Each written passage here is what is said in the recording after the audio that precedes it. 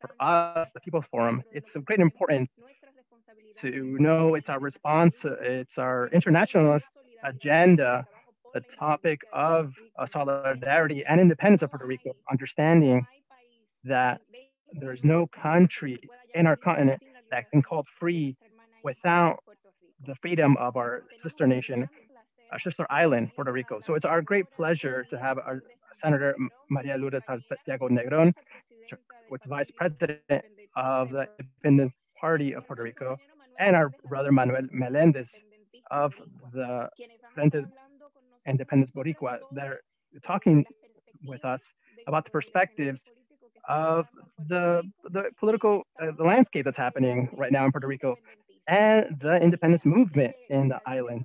So we are happy of their presence. We'll be doing this conversation, having this conversation a bit as a, present, a presentation, as a present uh, info, and then a talk. Our colleagues are going to present something 15 minutes each, and then we'll enter a Q&A session. So I ask everyone that are listening or watching us to write your comments, questions, and the different platforms. If you're writing, if you're seeing this through YouTube, please write it there. If you're seeing this through Zoom, you could see it, you could uh, write something there there too. But just get involved in the conversation that we're going to have. That's the whole point of this. So without any uh, any more the space. Maria de Santiago Negron to be able to share a bit about her analysis and perspective. Welcome, Maria. Thank you, Claudia. Thank you, People's Forum, that you've uh, hosted us in the past. Uh, the last time we were there during the UN, thank Jocelyn Velasquez that uh, helped in that coordination, uh, and and of course Manolo. That's always a pleasure to spend time with him, discussion, uh, this this fight for independence. So when we received this invitation from y'all, we you asked us many questions, and I want to start by the last one. What can be done from the diaspora, the Puerto Rican, Latin American diaspora, or from the solidarity of the US public as it relates to the liberation of Puerto Rico?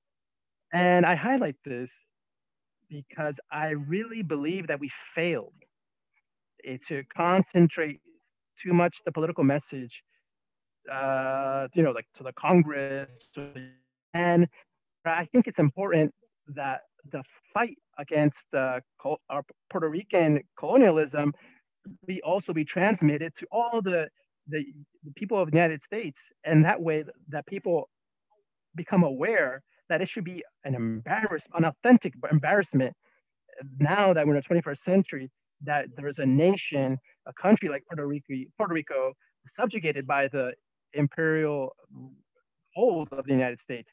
Puerto Rico ha has passed on to be a historic uh, uh, colony to uh, a, a, dictatorship, via a fiscal dictatorship. This through the this current law of Promesa in 2016 we don't even there's not even a determinist uh, uh, capability through our uh, elected officials because it's all controlled by the the fiscal department that has veto powers of the legislation in Puerto Rico, eh, which have also a last word of each cent of the public treasury of Puerto Rico. This type of control on top of the colonial framework is mentioned again in all its in the loud and clear a dictatorship and that is what's happening in puerto rico and secondly it's important that the whole american public and people uh, united states uh, people know that it's a responsibility of that country to have a mechanism that helps the puerto, puerto rican people find the way out of this colonial entrapment. Living in a colony is it's like the the the, the uh, like a syndrome Stockholm syndrome that you could see that you know you're stuck in a in a location without having the ability to leave but without there's a, a, a process, me mechanism processes to get out of this, it'd be very difficult that Puerto Rico can advance in its proposals to continue the in its relationship and define its relationship with the United States. And also, lastly, it's really important to communicate that the solution, the most satisfactory solution of the current colonial situation for the United States and Puerto Rico alike is that the Puerto Rican people can one day enjoy our full uh, sovereignty. At this moment in history, it's it's equally hard or, or challenging this this uh, national uh, identity as as an item. Puerto us Puerto Ricans, we don't want to be United States uh, people or, citizens. We are nationals in our own land. So when when when we can take our own determine our own outcome, of course, from an, a, in a harmonious and respectful manner to the United States that give us important links. For example, now more than half of our compatriots live in the United States, but until this is a relationship of equals, there won't be a, a, a plenary, a, a, good sense of political relations between the United States and Puerto Rico. So that being said, what's the current state of the independence movement uh, in Puerto Rico? I know in the last few years, we've advanced very quickly more that we've seen in past decades. In good measure, this is because the United States has decided to to take off this this friendly uh, controller uh, measure that it had and represent itself as the true colonial power that it, it is. This has contributed a lot to to know the level of promise, the, the, the promise of stature that that led that established and also a, a, a jurisprudence where the Supreme Court of the United States ratified that the Puerto Rican people under that political structure of free and liberated state, we don't have nor have a, a, a sovereign any sovereignty. That was decided. The the U.S. Federation is, is sovereign the, the states are sovereign, the original people, the original nations are sovereign, but not a colony like the United States. So with that uh, judicial uh, backing of Promesa, that led to this imposition of this uh, fiscal control. So during the debate that we've been having in the last few years to try to establish a mechanism to make sure that there's not the, the bankruptcy of the country, we these different these items have been ratified of uh, political inferiority of Puerto Rico. This idea of, of bankruptcy, which is one of the most uh, stressing items in Puerto Rico. We have a, a main, a, a, a huge debt, hundreds of billions of dollars. The governor of Puerto Rico, the gov- government of, of, Puerto Rico is not even part of the, the, the, the tribunal. It's like if we were small kids we don't have the ability to come before the court. Uh, what controls us is the this uh, fiscal uh, court control. So within this complexity of of, po politics of dialectics, it has led to the different sectors of the Puerto Rican community that were very uh, reticent to understand the the dimension of the colonial history because they've of the because of the advancement of this colonial same colonial system. As I mentioned, I'm a senator.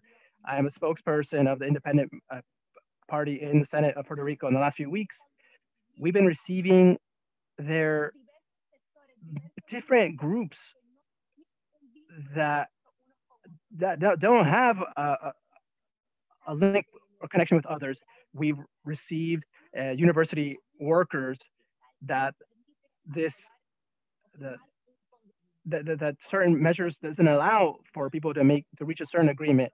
Also, the students they are are not happy with the cuts by made by cuts for the university. Also, we met firefighters that that are suffering also from this this fiscal control, and also as, as well with different uh, salary limitations tied to this. We also met transportation workers, uh, drivers, because of the because of there there has there's possible restrictions that doesn't allow a just market. So there's there's sectors that are don't have a clear tie, but they have the same issue, and they they articulate it very clearly that this they're against this this fiscal control, and it led them to understand a level of awareness that they they before couldn't under, uh, get of the political uh, uh, conditions of, of Puerto Rico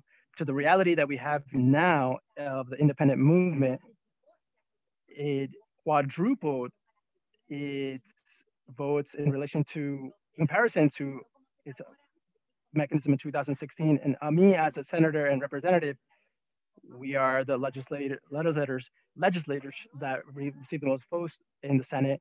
We received two uh, legislators from Victoria Ciudadana, which has certain affinities as us with the Proyecto Dignidad. This breaking of this bipartisanship has led to the country receive a new fresh uh, breath air and has given to a, a new it,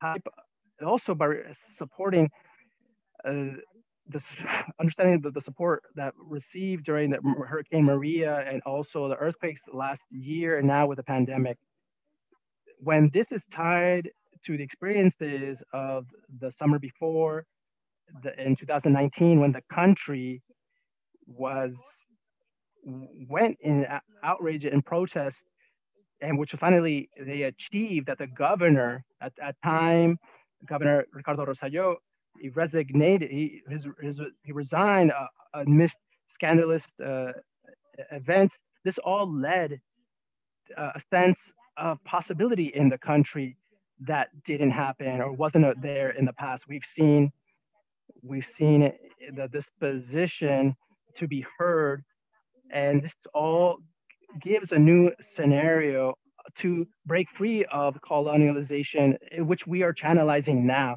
in the local legislature in Puerto Rico through a petition that, that leads to specific uh, com committees in the House and the Congress in the Senate to, and in relation to the Congress of the United States that that was ratified last year, Nidia Gutierrez and Alexandria Ocasio-Cortez that make a similar peti uh, petition, and this measure will be later be ratified next week.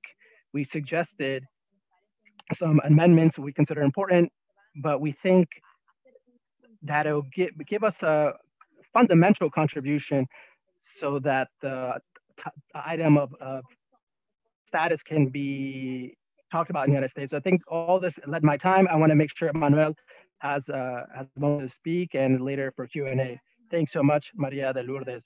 I think you really paint a good picture of the context in Puerto Rico and is and of the, the fight for independence. So thank you for that analysis and perspective. Now I'm going to give the, the word to Manuel Melendez, who is part of the Frente Independentista Boricua thank you for that invitation. Thank you for being here. Thank you, Claudia. Thank you for your for your for your invitation of the People's Forum.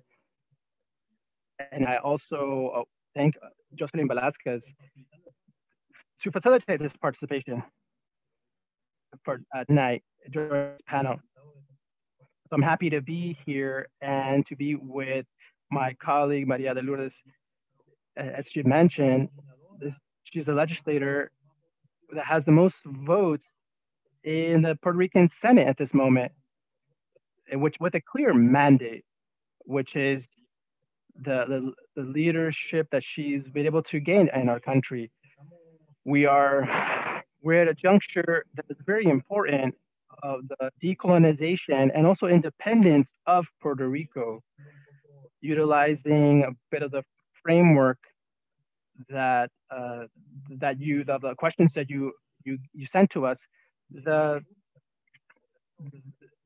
of 2019 the, the summer of uh, that fight during 2019 that wasn't would have been possible without the accumulation of of past struggles certainly the imposition of a dictatorial uh, group uh, imposed by Wall Street, the Congress, and the U.S. Uh, the, president in 2016 led to to traumatize a, an issue which is the colonialization in our country. Puerto Rico, though, st- still goes through still still going through an economic crisis uh, in 2016. And from there, there's a series of struggles of uh, working class uh, communities, different sectors of the of the people, as Maria de Lourdes mentioned. At this moment, the reality is is very easy to understand the contradiction between uh, Puerto Rico, a colonial Puerto Rico, this myth of of of Puerto Rico as the window of the, of the the Caribbean is broken. We are because our people and are aware that Puerto Rico is a colony, and that's a big step in relation to the to the feeling uh, or the the common awareness a few years ago. As I mentioned, the the the the working struggle to take out the Ricky Rosselló, what would have been made possible without the, uh, accumulating the, the, the, knowledge of uh, a fight, especially 1st of May 2017, because certain promises were not met where U.S. Uh, where excuse students of the University of Puerto Rico and uh, public education, they uh, those groups along with progressive working class groups that are that are working towards the working class conditions as, as well the, the traumatic experience of the abandonment of the, the country in a critical moment during Hurricane Maria in particular our people, amongst other things, became aware themselves and be, be, discover fight, discover strength to fight about regarding this governmental abandonment, and from there led to an awakening of a national affirmation. At, at that time during Hurricane Maria was never seen. So many Puerto Rican uh, Puerto Rican flags flying anywhere in our country and outside. And that's something that the country was able to get some of their nationality and push forward. The, this was such a great uh, awakening of consciousness where in 2019, with it was covering the, the miserable chat on how the governors were the were making fun of our country, our people took all that indignation and and and, and feelings to achieve something without uh, without being seen before a multi-day uh, people expressions to take out a government a government that had many many ex- expressions of uh, cultural artistic expressions of, of protest you know street combat, everything happened where the people were able to have the taste of victory, of, of defeating a government. And this is to say in a few words, this is this is not just something that uh, uh something flippant. This is something very important to to the consciousness of a people uh, and the consciousness, uh, a national consciousness, and and the, during these days in 2019 led us to uh, to tie different things of experiences in in Puerto Rico and out the, the, the Puerto Rican diaspora, those, those in exile, gave a great lesson of solidarity with their country. And part of that solidarity that goes beyond the national uh, Caribbean border. That being said, our country has uh, upon itself a very particular moment from 2019. We have the experience, uh, this organizing experience that led happening in many aspects and uh, sectors of our, com of our community. And I, what I mean by different organizing aspects, that the people was able to discover out of Maria that they have to organize because here we can't wait that for a foreign government is the one that controls our our situation as a country. Our fight of this, the control, fiscal control, is is one of our uh, priorities of, of our country, and it doesn't happen in a vacuum. The the growth of electoral growth of the independent uh, party is a product of it's it's a coordinated and organized effort, very articulated effort for this struggle. The independence movement of Puerto Rico, it brings me great pleasure to say, is not just to come to electoral this electoral position, but that for many years it led to many con constructing many relationships of the left and independence movement of that same left, which led to a fruitful result. The open a space of dialogue, open a space of coordination and of work among within many fronts for the many fronts of this uh, of social struggle struggle from an international perspective, but also from an electoral perspective. And that's something that's boy, that's the greatest challenge right now that Puerto Rico has the possibility to work towards independence. We have a government, a colonial government that has a, a skewed mandate, a very a thin mandate uh, uh, that that doesn't have control of the House or the Senate, that more possibly will try to by by to rule by decree. There is a it's uh, a government that's subservient to uh, like foreign uh, uh finances as well tied to this uh, fiscal control, which are tied to inter- foreign interest and not, not national interest. So that contradiction of, of this national contradiction, a colony empire is in the point of rupture, but that rupture requires organization from us requires coordination from us.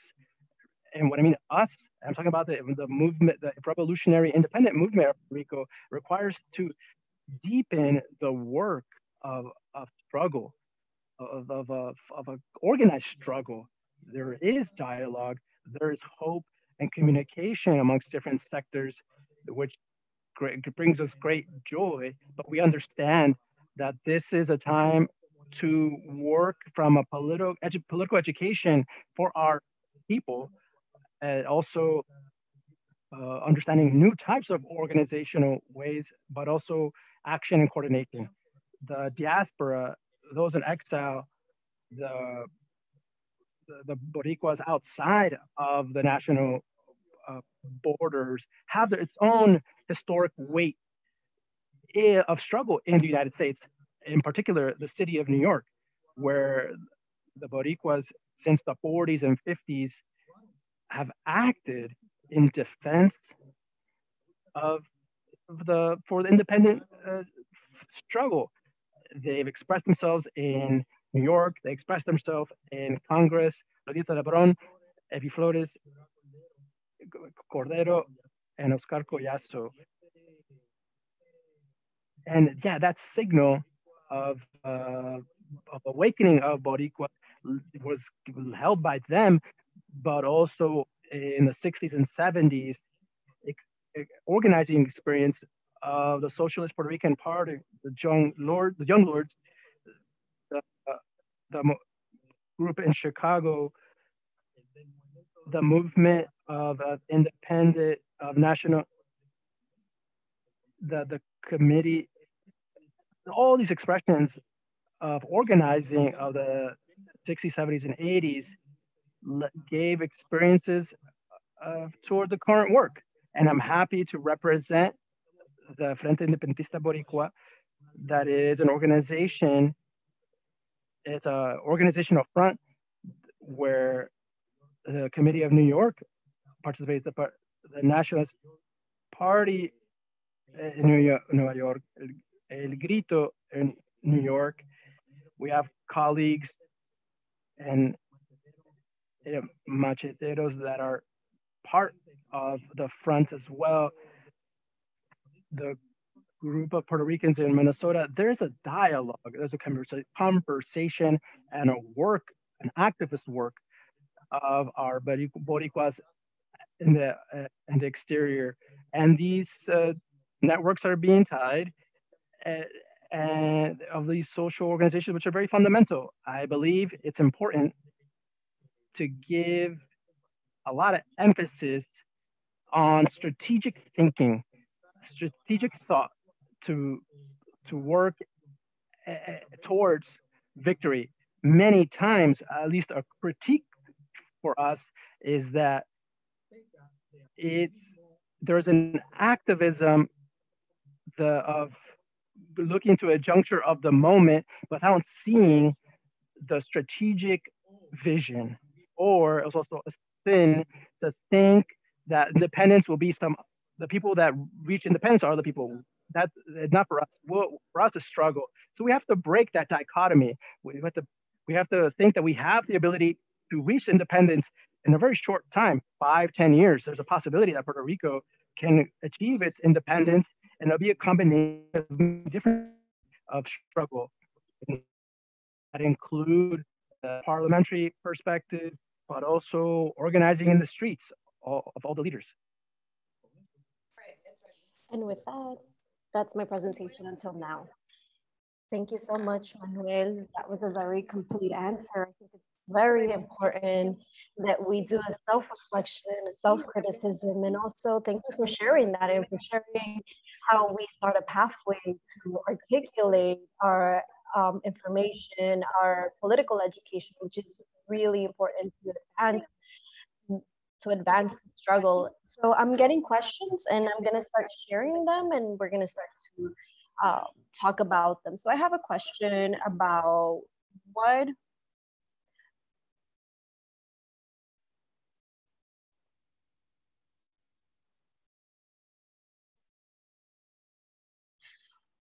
what programs does the PIP follows from the uh, electoral process? So our party is one with with bringing uh, social and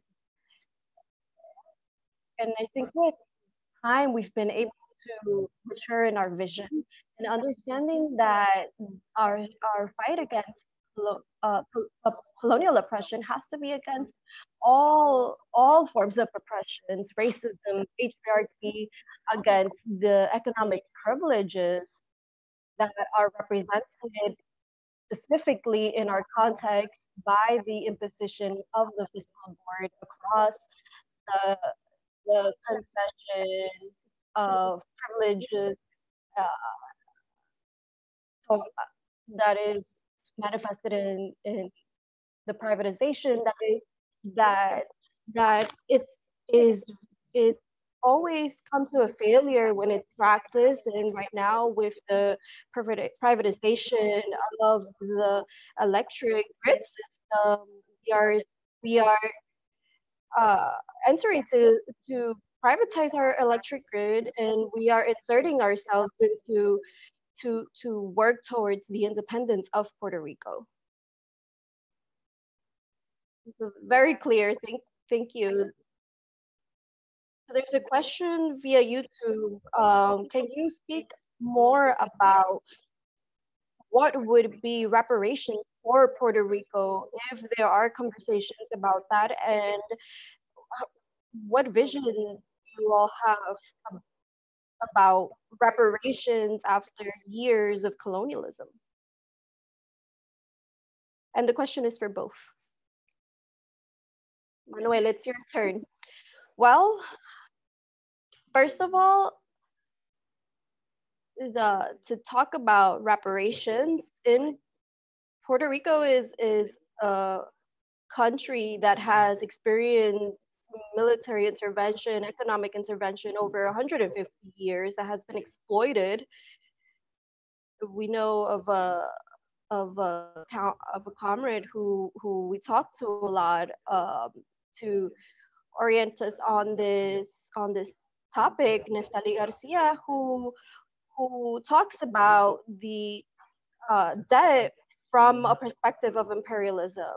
Right now, we talk about the debt that we're, we're talking about the, the financiers of in Wall Street, and that's something that has been that uh, the debt is something that's been created with the intention of collapsing Puerto, Puerto Rico's economic system to be able to share this with bondholders who um, control the financial wealth.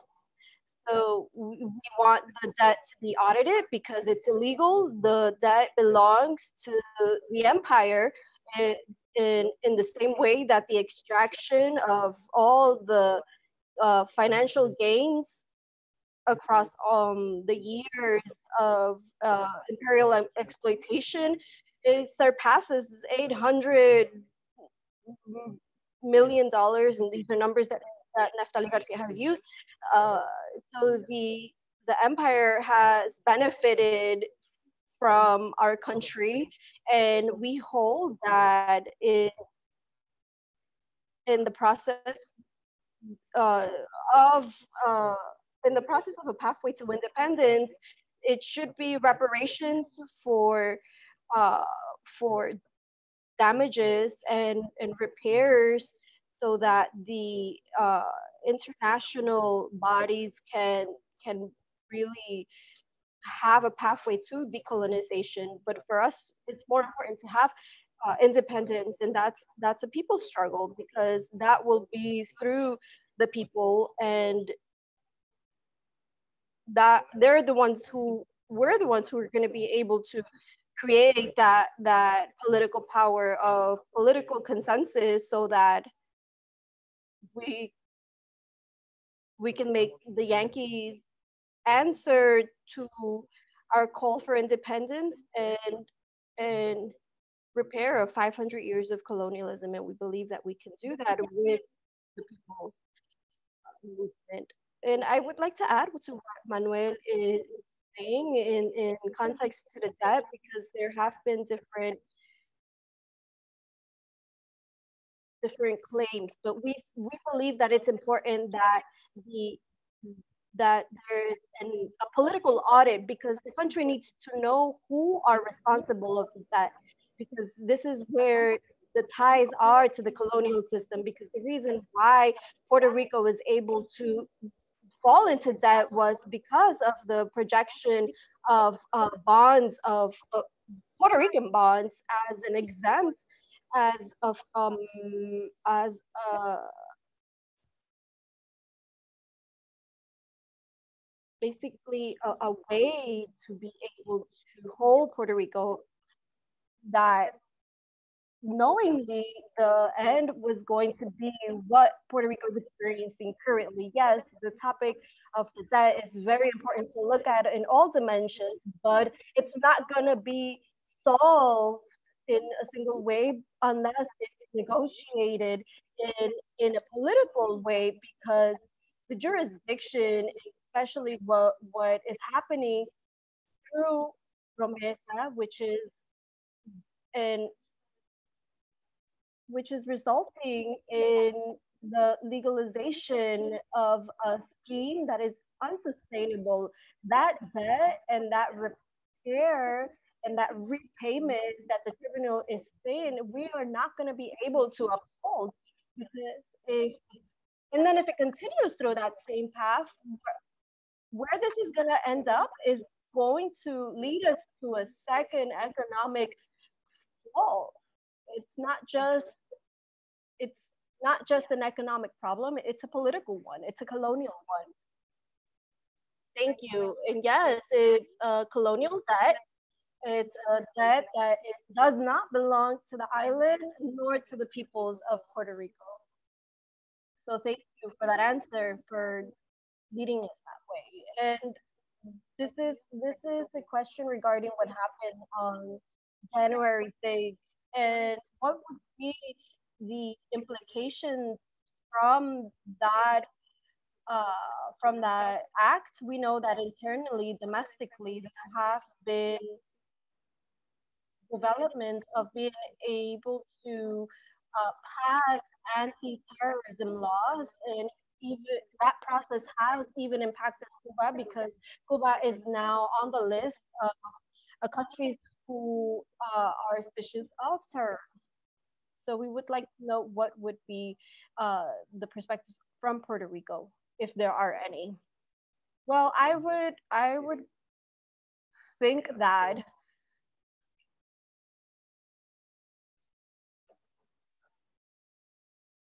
that the act of terrorism from the alt-right on January 6th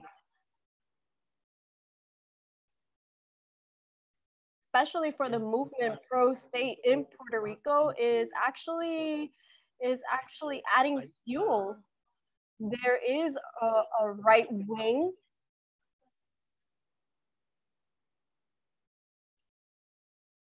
there is a right wing political development in, in regards towards in regards of the capital development but also in question in regards to the national aspect of it. The United States and its racist tendencies that is rooted not only not just with the the the the change in government or the exit of Donald Trump, can we just think that it's gone? We have to remember that uh, white supremacists, there is a larger movement and it's um, on the path of fascism. So we, it, it, so Puerto Rico and, and Puerto Ricans in the United States form a history of resistance of 150 years of colonialism, and we've done it uh, a myriad of different methods and all, the simple fact of being in resistance, we are, uh, we are in, we are a part of of that combat. So I I, I think that uh, Boricuas in in the United States have been mobilizing and organizing and being able to impact public opinion and the messaging for Puerto Rican independence.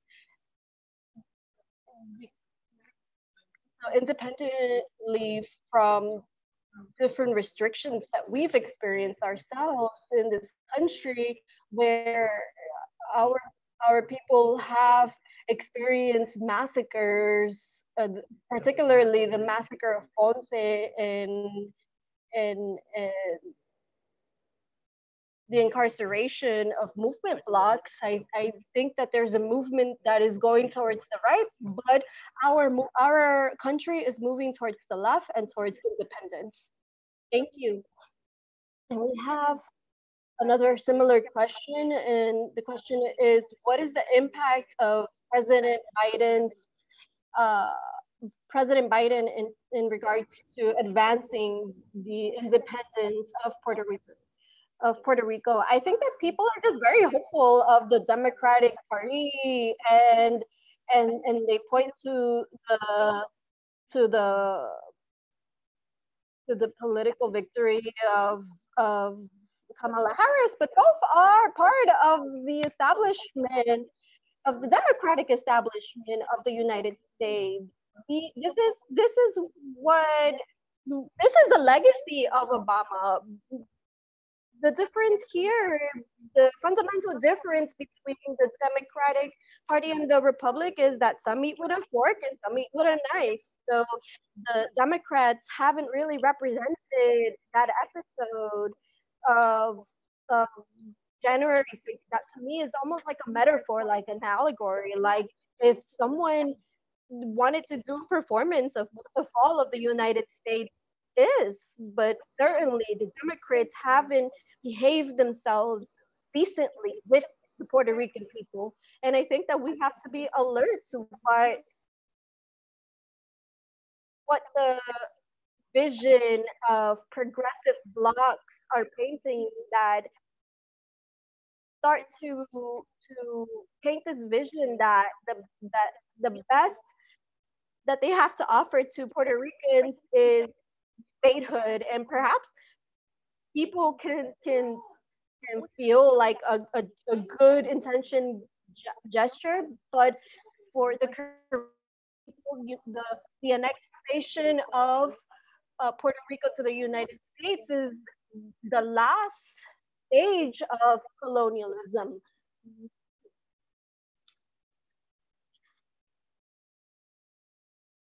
So this is almost a, a, racist act because it almost seems that they want us, they want the people to believe that that the best that can happen to Puerto Rico is an annexation, and that's in and of itself a racist thought. So I, with with Biden's arrival,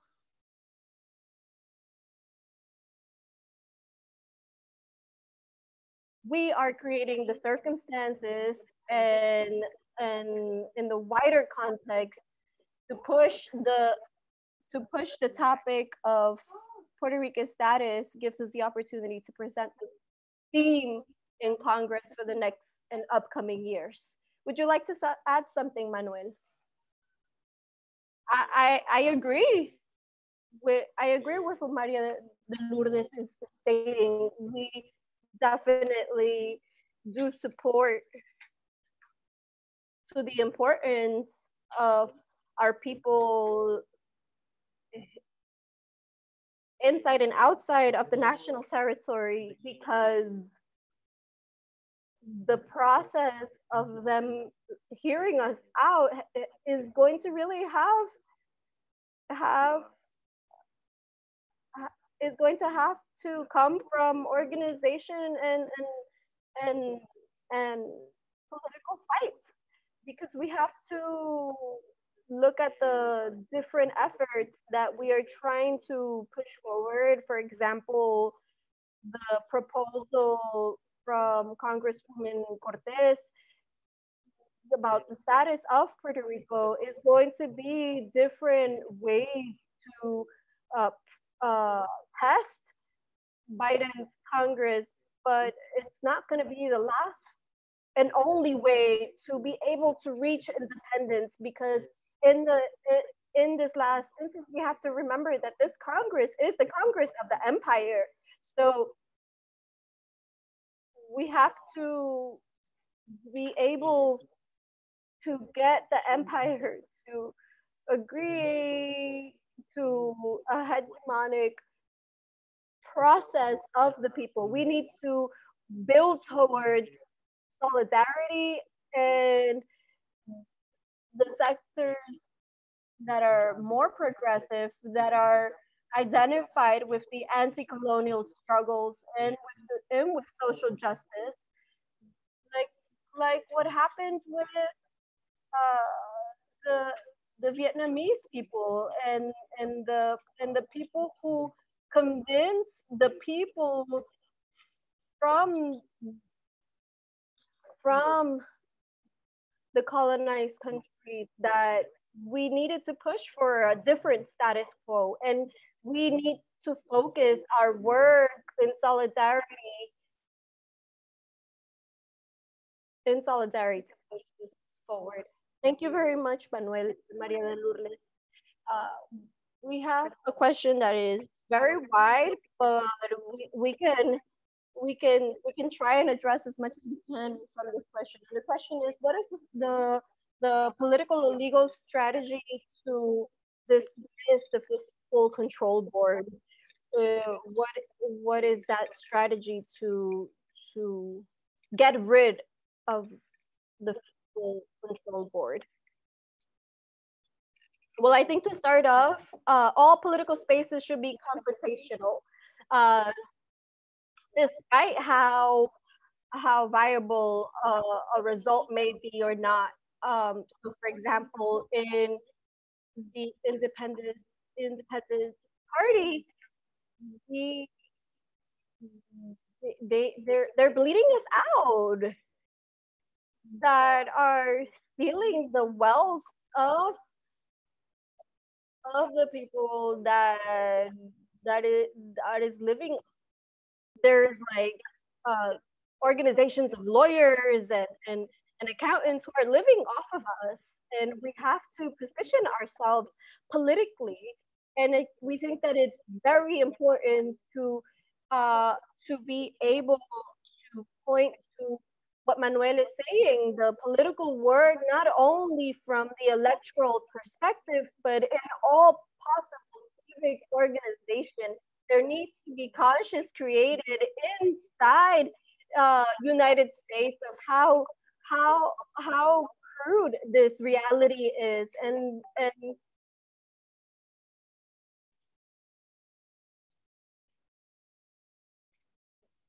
and also it's very it, indisposable. We use this term in, in, in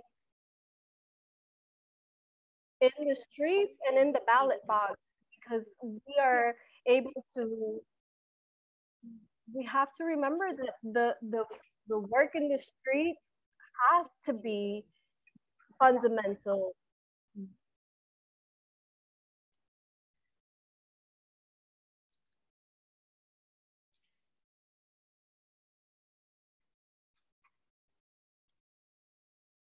like I was explaining.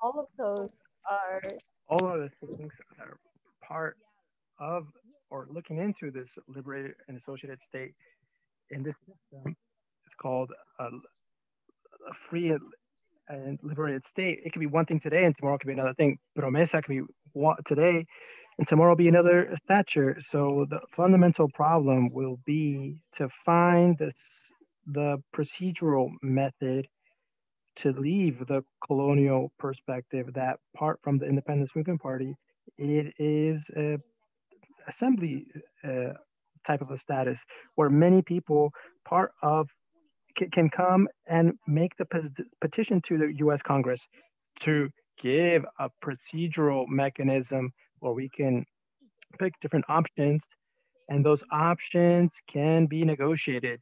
In Puerto Rico there are many people in the culture of dependency believe that the option the best option for the the for the the country is is statehood. But we know United States is not going to give statehood to Puerto Rico. We are incompatible with the political structure of the United States. But I could say from a political uh, party, from my part, I could say that, but the, the, the, Congress needs to tell that to the American, the United States people. That way, the next step is to to take away this myth of statehood as Don Pedro Albizu Campos called the, the supreme definition, that is the question, Yankees or Puerto Rico?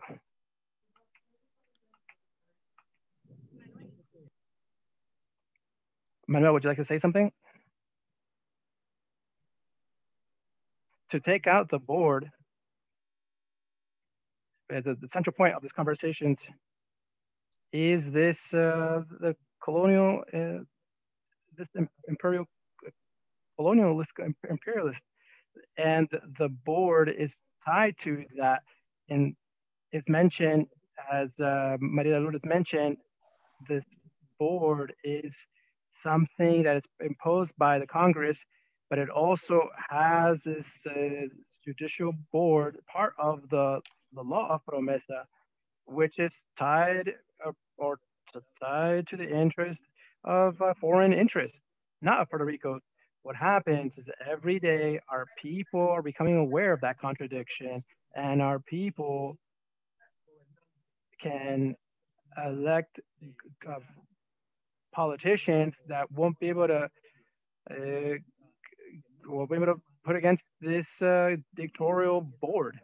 And this this dictatorial board is about to start to start to put more heavy measures in our country that it's going to create much more precariousness where where the relationship of workers uh, precariousness in schools precariousness in health precariousness in in salaries.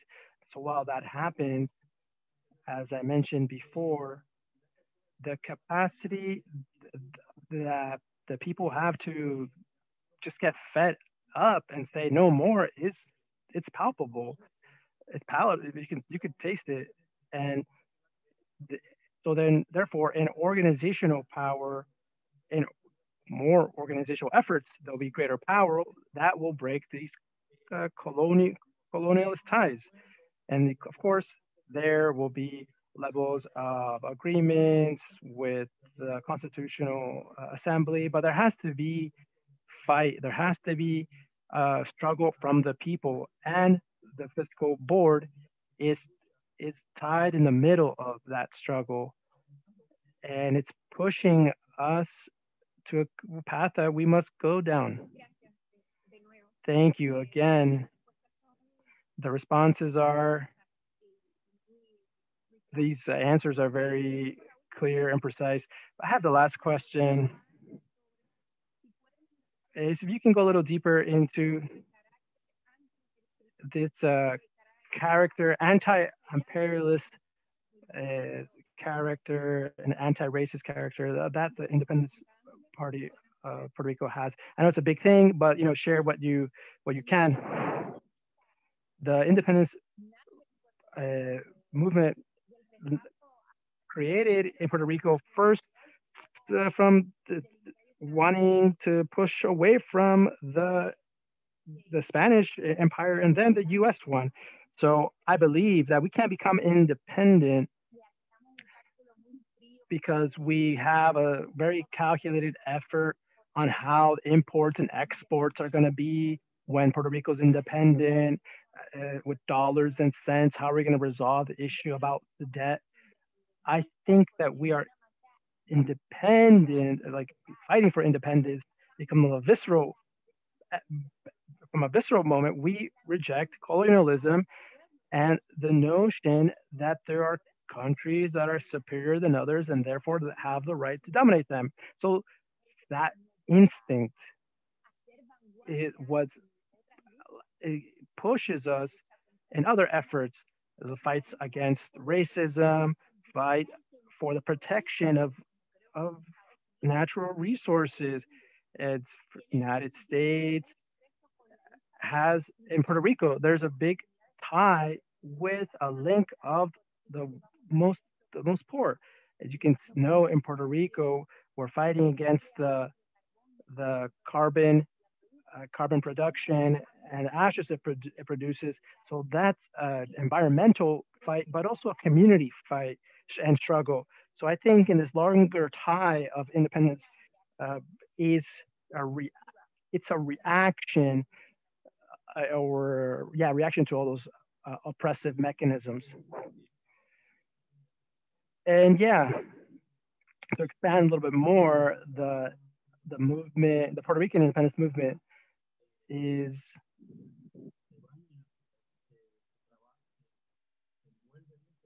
it moves a lot with uh, a lot of social justice, social justice that that is that works against the oppression of, of gender, against the explo- exploitation, oppression of labor, against the exploitation of of natural resources. All of these things, our movement is present not in an opportunist way, but to uh, from a way uh, how we want to see the country, a social justice vision of men and women, human beings with the same opportunities for everyone to to develop whatever they may be and where social justice is the norm so in that sense all those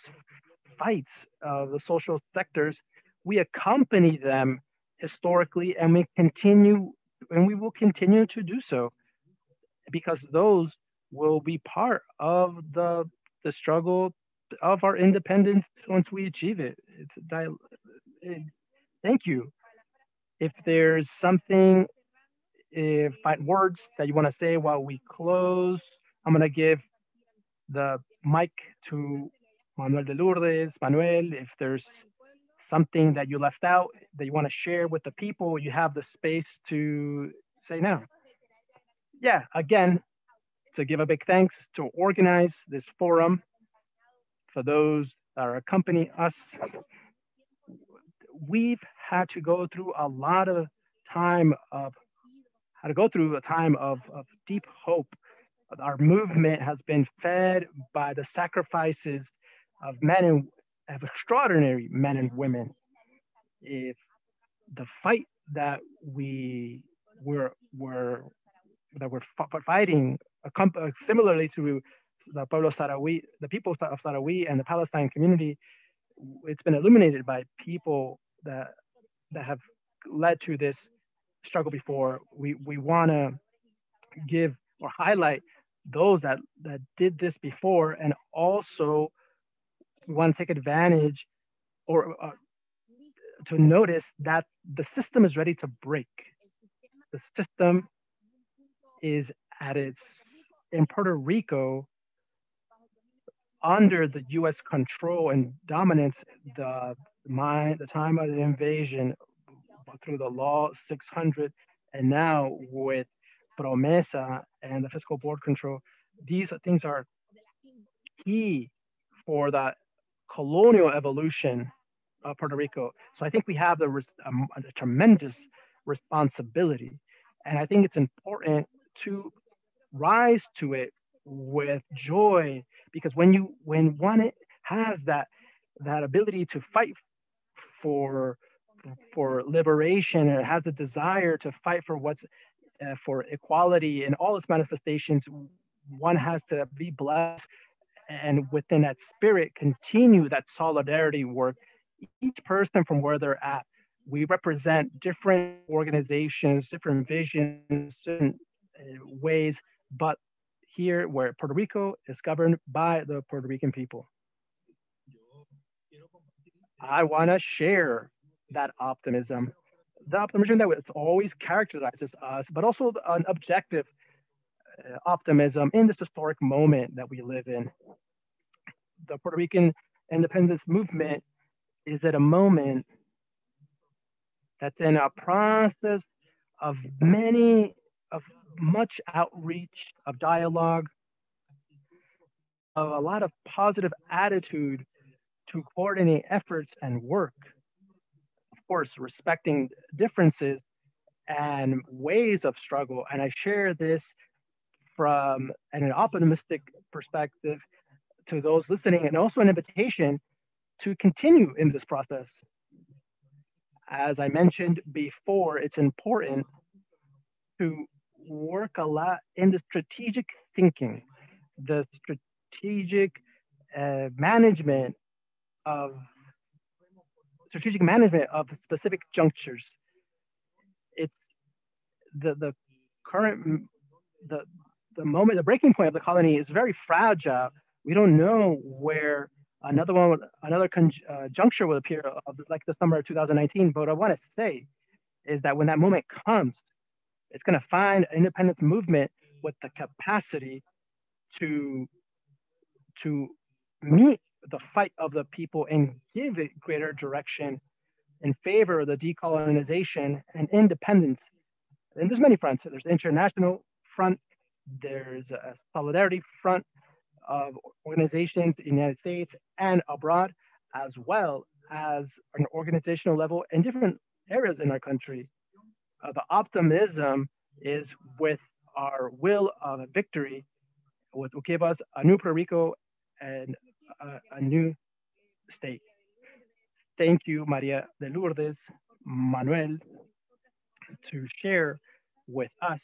You gave us a list, list of tasks to do in our solidarity, for solidarity groups inside and outside of the island. For us, it's important to articulate the unity to be based in principles as well. And thus we believe that the conviction and fight for the independence of Puerto Rico is tied to the dignity of all the peoples, not just Puerto Rico. So we uh, we are committed to advance the work of formation, uh, political education, to be able to reaffirm and uplift this radical legacy that many of the, organ of the organizations that you mentioned have in the diaspora, for example, and also to connect us with the different uh, groups and networks that are working towards the independence of Puerto Rico.